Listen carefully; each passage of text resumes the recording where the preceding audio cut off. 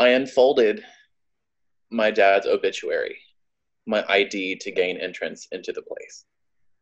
There are people playing catch everywhere. If you didn't know how to ride a bike, all the members combine, Optimus Prime style, hold onto you like your dad can't now. They won't let go until you say so.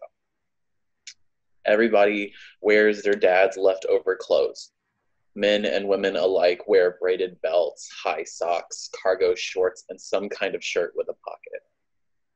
Nobody touch the thermostat, or all the dead dad ghosts will billow up from the ground and tell us to turn it back down.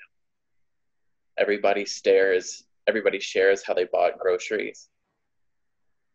With the most coupons, we work out by stretching a dollar.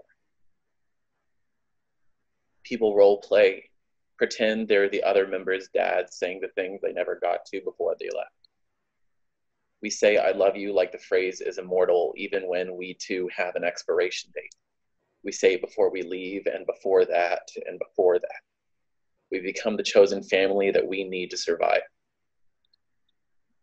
We went to Lowe's, compared prices on swatches collectively painted over the memories that finally gave us closure or glossed over the experiences that were too hard to power.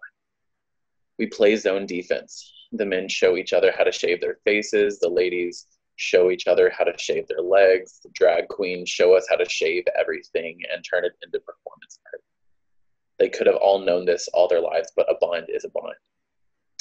We community organize a recycling drive. We recognize the concept of reduce, reuse, recycle. Reduce shame and the regret, talking through our generational traumas. Reuse the lessons our fathers taught us and instill the ones they never did recycle every good memory we ever had, make sure they stay alive in us.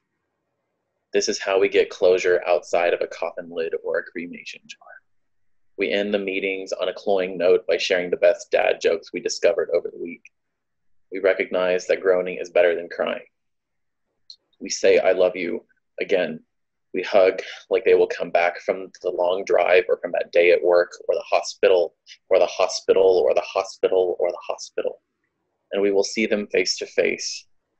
But we drive home, look at ourselves in the mirror, understand that seeing half of him is better than seeing nothing.